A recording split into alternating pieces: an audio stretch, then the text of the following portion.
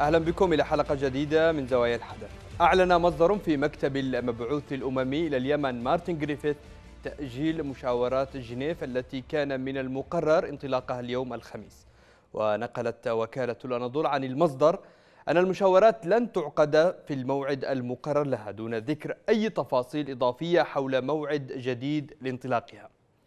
تأجيل المفاوضات جاء بعد أن امتنع وفد الانقلابيين عن مغادرة صنعاء إلى جنيف وتقديمه العديد من الاشتراطات من ضمنها سلامة العودة ونقل قيادات وجرحى إلى الخارج نتوقف عند هذا الخبر لنناقشه في محورين هل يمكن القول أن الميليشيا تسعى إلى وأد المفاوضات قبل أن تبدأ؟ ولماذا لا تتخذ الأمم المتحدة موقفا واضحا وصارما من توجهات الانقلابيين المعرقلة لمساعي السلام في اليمن؟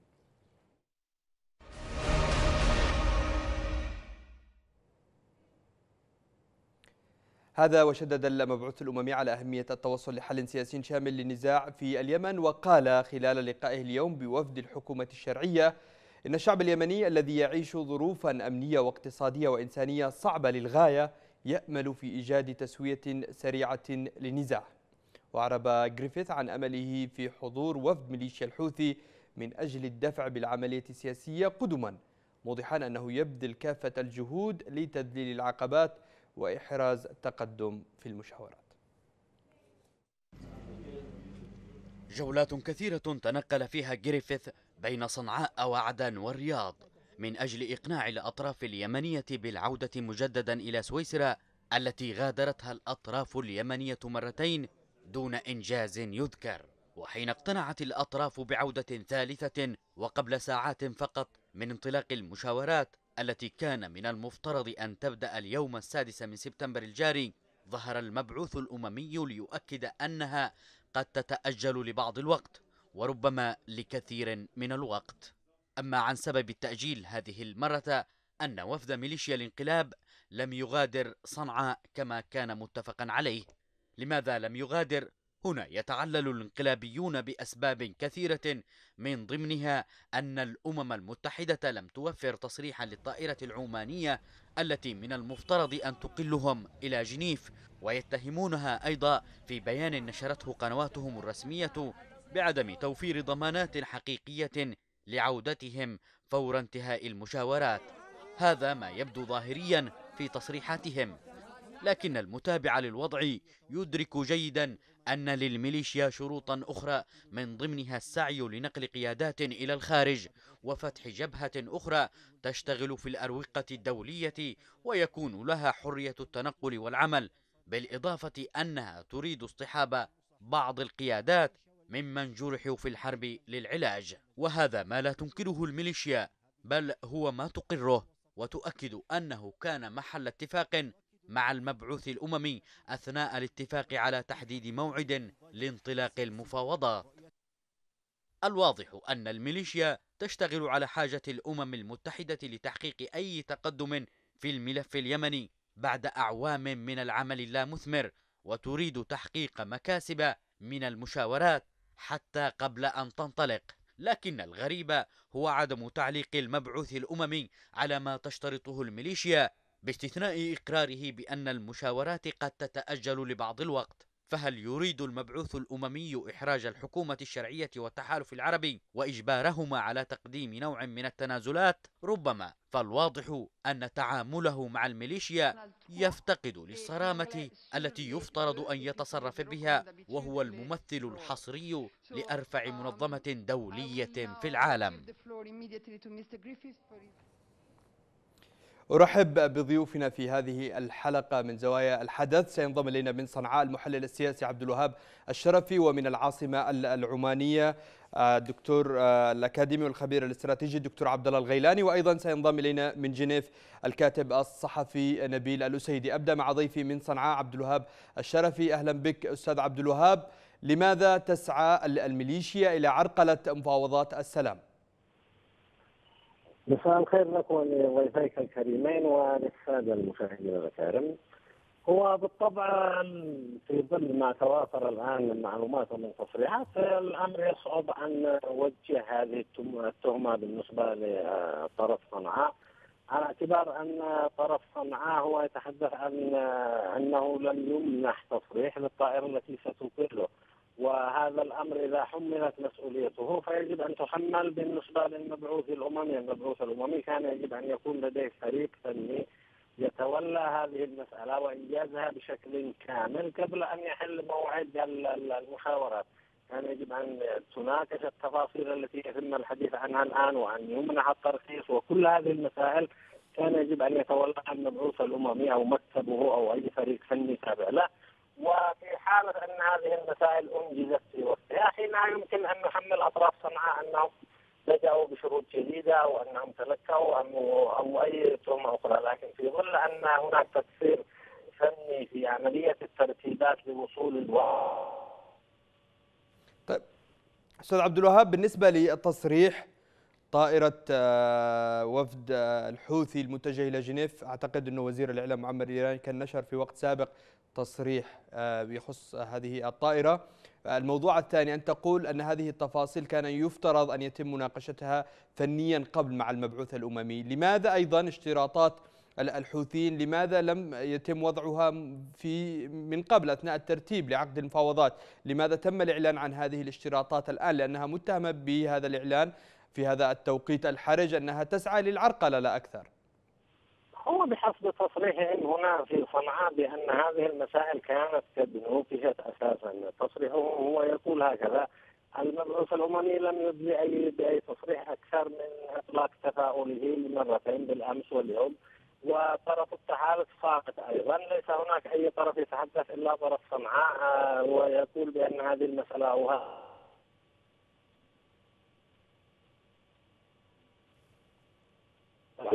على كل حال يظل المسألة متعلقة بالتقصير. المخاوف لدى أطراف صنعاء أتصور أنها مبررة لأنه هناك تجربتين سابقتين يخرج الوفد ويمنع من العودة. المرة السابقة انتظر ما يقارب ثلاثة أشهر الآن أيضا له عدة أشهر وهو عالق في عمان ولم يسمح له بالعودة. فهناك مخاوف معينة كان يجب ان يتم الترتيب ووضع التطمينات اللازمة فيما يتعلق بالطائرة إذا كان الاعتراض على كونها امانيه وإن كانت المسألة متعلقة بالجرحى فإلى حد الآن لم يوضح أن هذا الأمر لم يكن آه، متفق عليه مع المبعوث الأممي أو على الأقل لم يكن قد مع المبعوث الأممي. هذا الأمر تدعيه الآن في صنعاء وليس هناك أحد قد كذبها أو علق على هذا الأمر وبالتالي نحن نقف عند هذه طيب. نشرك معنا بالنقاش أيضا. آه، الكاتب الصحفي نبيل الأسيدي آه، من جنيف. أستاذ نبيل من حيث أنت يعني وأنت الآن ربما قريب من أجواء المفاوضات في جنيف. ما هي آخر المعلومات بداية المتوفرة لديك؟ هل حدد موعد قريب لعقد المفاوضات؟ وماذا أيضا بالنسبة للاشتراطات المطروحة اليوم من جانب ميليشيا الحوثي في صنعاء؟ آه، طبعا كان هناك اجتماع آه، صباح اليوم بين المبعوث الأممي ورئيس الوفد الشرعيه وزير الخارجية الدكتور خالد اليماني و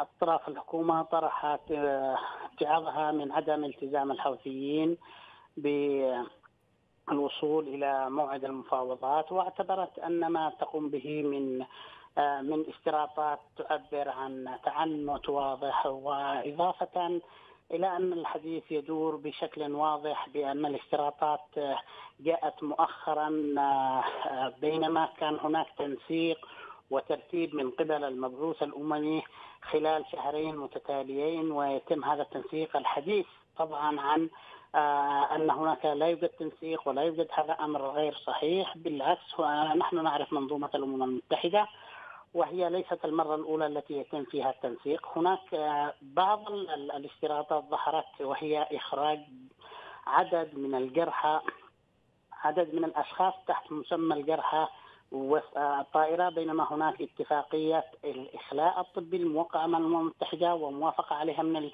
الحكومة الشرعية وتم إخلاء عدد من الجرحى سابقا خلال الشهرين الماضيين. آه، وهناك شكوك ومخاوف لدى الأمم المتحدة ولدى الحكومة الشرعية والتحالف بشكل واضح بأن هناك ما يقال بأنهم أشبه بالخبراء اللبنانيين في من حزب الله. مهما كانت هذه المعلومة لكن المخاوف غير واضحة والإصرار على إخراج جرحى في توقيت معين وفي الطائرة التي تذهب بهذا الوفد. هذا أمر يثير الشك. مهما كانت المعلومة دقيقة أو غير دقيقة لكن هذا الموضوع يثير الكثير من الريبة. الأمر الآخر هي استراتهم بأنهم يخشون من عدم إعادتهم أو من اعتقالهم إذا خرجوا من اليمن وهذا أمر غير صحيح. الأمر معروف أنه تحت مظلة الأمم المتحدة وتحت رعاية دولية وهذا الأمر معروف بأنه لن يتم أبدا لأن هذا مخالف حتى لكل الأنظمة والقوانين الدولية والمعروف في سياق الأمم المتحدة. الأمر الآخر أنه وفد الشرعية آه، اليوم وضع مهلة محددة ما لم أنه سينسحب وسيتم إلغاء هذه المفاوضات. هو آه، وفد الشرعية يتقدم بخطوة بأنه آه، وصل إلى جنيف ووصل مع المبعوث الأممي وكتعبير منه بأنه يريد السلام. بعيدا عن الآمال والطموحات الناجمة عن هذا الحضور ولكن مجرد الحضور هو رسالة للمجتمع الدولي بأن الشرعية راغبة بالسلام ومهما كانت النتائج. آه، بينما الحوثيين بإصرارهم خلال التصريح لوزير الخارجية التابعة للحوثيين في صنعاء يوم أمس وهو يتحدث عن تلك المخاوف ويتحدث عن آه، عدم يعني الخوف من عدم عودة الوفد واعتقاله كل تلك مبررات غير منطقية ما زالت المبعوث الأممي اليوم في بيانه. قال بأنه يأمل من الحوثيين الوصول اليوم.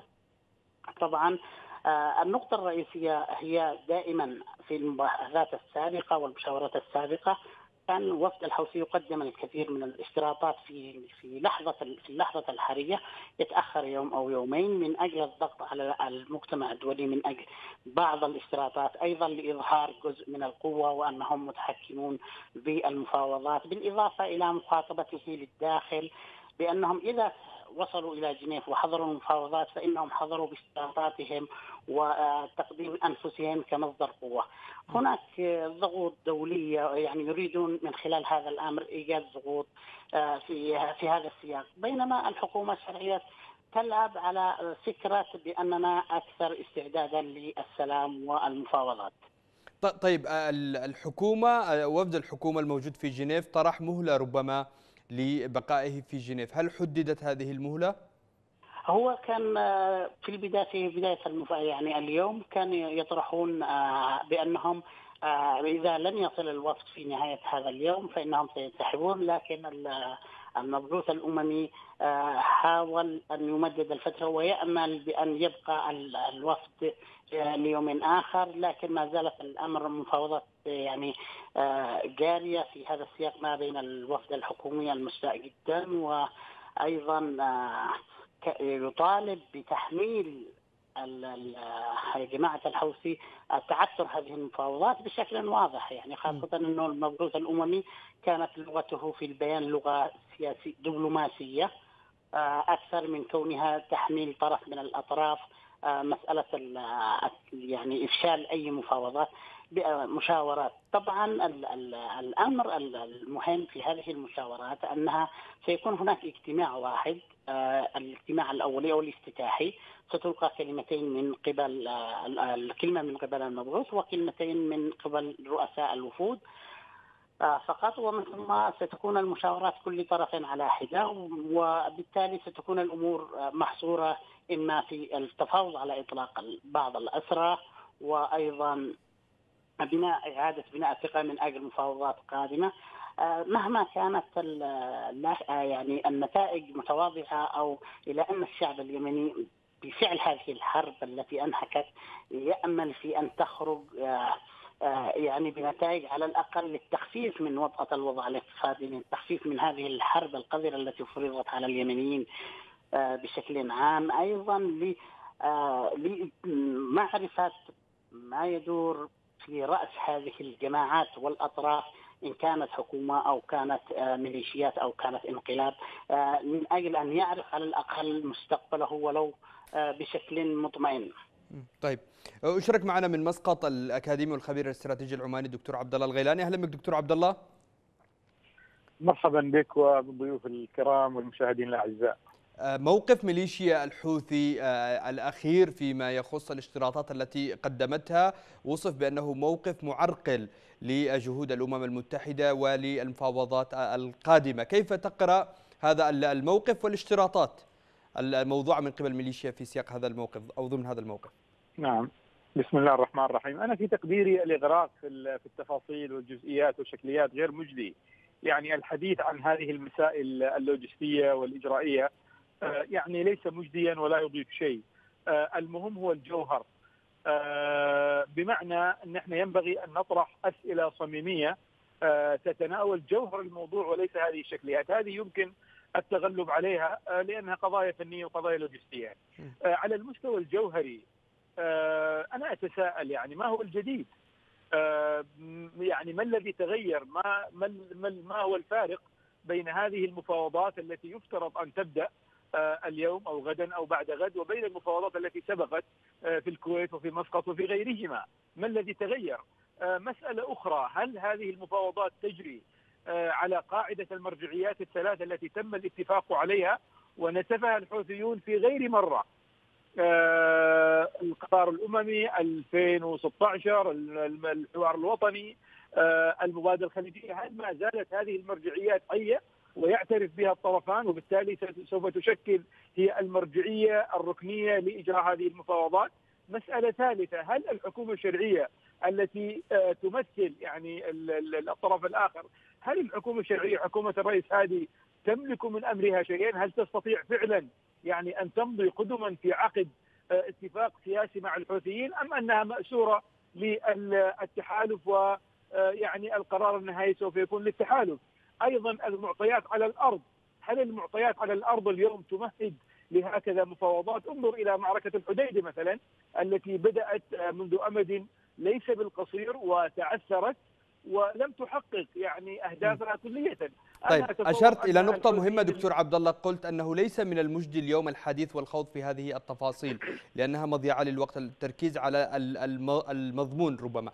وما الذي تغير عن فوضى سابقة؟ برأيك لماذا ميليشيا الحوثي تصر في اللحظات الأخيرة على هذه الاشتراطات وهذه التفاصيل اللوجستية التي كان يفترض أن يتم مناقشتها والاتفاق عليها مع المبعوث الأممي في وقت سابق؟ أنا أنا أتصور أن الحوثيين يعتبرون قبولهم مجرد القبول من حيث المبدأ بالدخول في تفاوض مع الحكومة الشيعيه يعتبرون هذا تنازل وتكرم وبالتالي ينبغي أن يحصلوا ثمنا عليه. وهذا الثمن هو يعني الذي يحاولون أن يتفاوضوا عليه الآن. قضية الجرحى وقضية يعني التعلل ببعض المسائل اللوجستية فيما يتعلق بضمان يعني عودة الوهد إلى آخره فهم يعتبرون هذا تنازل منهم وبالتالي ينبغي أن يدفع لهم ثمن مقدم. هذا من جهة من جهة أخرى التحالف اليوم في أضعف حالاته يا أخي. التحالف هو صاحب القرار الرئيس في جنوب اليمن وفي شرق اليمن أي في المناطق المحررة. التحالف اليوم ليس في أفضل حالاته. نحن نشهد في هذه اللحظات الحرجة أن هناك يعني احتجاجات واسعة تجتاح كثير.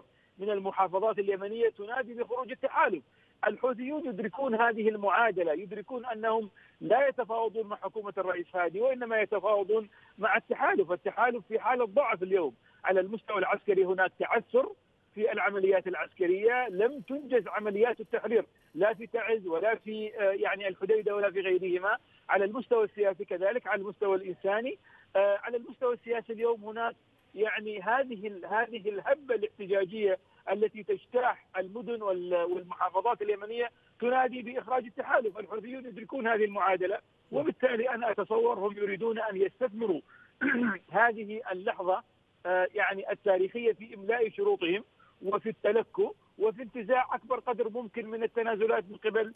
يعني هم يتعاملوا مع المفاوضات ومع اي فعل سياسي بهدف الاستثمار الشخصي لهذه الجماعة، اذا هم كما تريد أن تقول هم بعيدين عن أي مساعي للتخفيف من معاناة الشعب اليمني، هذه نقطة، النقطة الثانية عندما تقول أن هل الحكومة الشرعية تملك من قرارها في شيء أم هي تابعة للتحالف والتحالف من يملك الحق الكلمة الأخيرة؟ أيضا هل ميليشيا الحوثي اليوم هي من تملك كلمتها والقرار الأخير أم هي بانتظار ما يأتيها من الضاحية الجنوبية وطهران؟ كلا الحوثيون لا يملكون قرارهم بالتأكيد. آه، الحبل السري للحوثيون في طهران. هذا هذا أمر مسلم به ولكني أتحدث آه، عن الطرف الشرعي عن الحكومة الشرعية. يعني آه، هي ذهبت إلى جنيف فالسؤال هل تستطيع أن تبرم يعني اتفاق سياسي مبدئي مع الحوثيين دون العودة إلى التحالف؟ أنا أقول لا ما زالت الحكومة مأسورة بشكل كبير جدا يعني للتحالف، هذا من جهة، من جهة أخرى آه، المبعوث الأممي لم يطرح برنامجا سياسيا متماسكا آه، يمكن للفرقاء السياسيين أن يجلسوا ويتفاوضوا عليه. أنا في تقديري أن هذه المفاوضات هي مفاوضات إطارية لبناء الثقة يعني مجرد الاتفاق على قضايا أولية الأسرى وغيرهم. ولكن ليس هناك اجنده يعني متماسكة مكتملة مطروحة يجري التفاوض عليها. وبالتالي لا نتوقع من الجولة الأولى ولا حتى الثانية أن يتم الاتفاق على قضايا مبدئية آه، حول مسألة التفاوض السياسي، ولكن حتى هذا يبدو حتى مجرد الالتقاء هذا آه، لم يتم بمعنى أن هناك آه، يعني عند الحوثيين عندهم من الأسباب ما يجعلهم يتمردون على هذه المطالب ولا يسلمون للأمم المتحدة أنا يعني أتصور أن يعني المعطيات على الأرض ربما تميل قليلا لصالح الحوثيين وتعطيهم يعني هذه الميزة في التلكؤ وفي المراوغة وفي عدم الاستجابة لما يطلب منهم. طيب. آه التعلل بالقضايا الفنية هو مجرد تعلل ولكن أنا كما قلت يعني الذي يعنينا هو الجوهر آه في المجمل في المجمل يعني لا أرى أن هناك أفق يمكن أن تصل إليه هذه هذه المفاوضات بالنظر إلى المعطيات الاستراتيجية على الأرض وبالنظر حتى إلى الوضع الإقليمي. يعني دول التحالف غارقة في همومها الداخلية تعاني من إخفاقات على المستوى الداخلي وعلى المستوى الخارجي. آه، وضع إيران نسبيا نسبيا يعني أفضل من دول التحالف فيما يتعلق بعلاقاتها بالولايات المتحدة وعلاقتها بالاتحاد الأوروبي. فيبدو أن لا الوضع الإقليمي ولا الوضع الداخلي في اليمن يجبر الحوثيين أو يكرههم على إعطاء تنازلات والإذعان لما يراد منهم سواء من قبل الامم المتحدة أو من قبل الأطراف الإقليمية. طيب أعود لضيفنا من صنعاء الأستاذ عبد الوهاب الشرفي، أستاذ عبد الوهاب إلى متى تعتقد سيستمر هذا التصلب في موقف ميليشيا الحوثي؟ أيضا هذه الاشتراطات المطروحة الآن ربما أنت قلت أنها مخاوف مبررة من وجهة نظرك لكن كما طرح الأستاذ نبيل من جنيف أن هناك تخوفات وحقيقية لدى الأمم المتحدة وميليشيا الحوثي وعفوا الحكومة الشرعية أنه يتم آه، تهريب تحت يافطة مسمى الجرحى آه، قيادات وخبراء آه، لبنانيين وإيرانيين. لماذا الإصرار على إخلاء الجرحى في طائرة الوفد التفاوضي؟ لماذا لا يتم في سياق الاتفاق الذي تم مع الأمم المتحدة الإخلاء الطبي؟ يا سيد الكريم ربما حديث الأخ المسيدي وأيضا الأخ الكريم من سلطنه عمان هو نوع من الانطباعات وليس قراءة حدث. الحدث هو تم بأن هناك اتفاق أعلن ورسميا وقبل طرف صنعاء المجلس السياسي والمؤتمر رسميا الذهاب إلى التفاوض. هناك طلب وجه بتشكيل الوفد بإعادة تشكيله وبالفعل تم إعادة تشكيله. جاءت لحظة الانطلاق، لحظة الانطلاق كان يجب أن أن الترتيب كما قلت لك لها كان قد تم، ليس هناك أحد حتى